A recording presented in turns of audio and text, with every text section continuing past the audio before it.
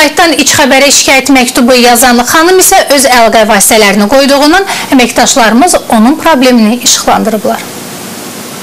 Evi çölə də çıxmır. Ayaqlarındakı damar daralmasına görə 4 ay xəstəxanada yatan 67 yaşlı Elmira Mustafayeva evinə qaydanda gördüklərindən şoka düşüb. Mənzilinin arxa hissəsində yerləşən ona məxsus iki qaraj heç bir xəbərdarlıq edilmədən sökülüb və yerində ev tikilib.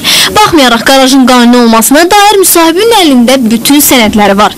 Vəziyyəti belə görən Elmira Mustafayeva ona bu zərbəni vuran şəxs və ya şəxslərin axtarışına çıxsa da, bugünədək onları gördüm deyən olmayıb. İndi onun bir istəyi var. Ərazidə tikinti aparan insanları tapıb, onlardan heç olmasa müəyyən məbləğdə qarajların pulunu almaq. Çünki ağır şəkər xəstəliyindən əziyyət çəkdiyindən artıq ayaq barmaqlarında qanqren başlayıb. Gəlin baxdı, gördü ki, yoxdur, qarajına gəzir, veriblər maşının qabağına bulduz yerdə, nə bilim, nəyinəsə də, uçurduqlar içində əşyaları ilə bir yerdə, heç tor torpaq da yoxdur.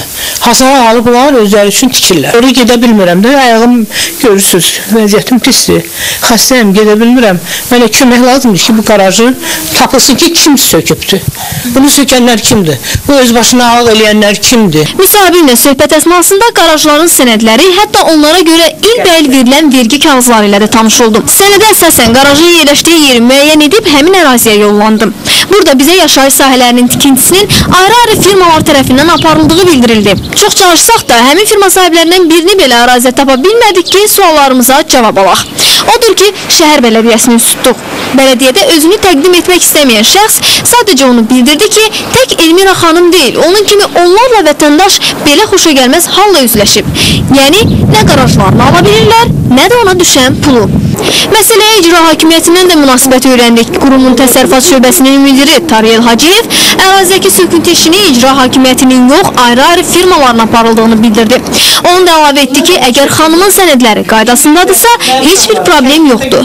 Sadəcə Elmira xanım bütün müvafiq sənədlərlə icra hakimiyyətinə gələrək şəxsən ona müraciət etməlidir. Beləcə söküntünü həyata keçirən şəxsi tapmaqda və pulunu tələb etməkdə ona yardım olunacaq.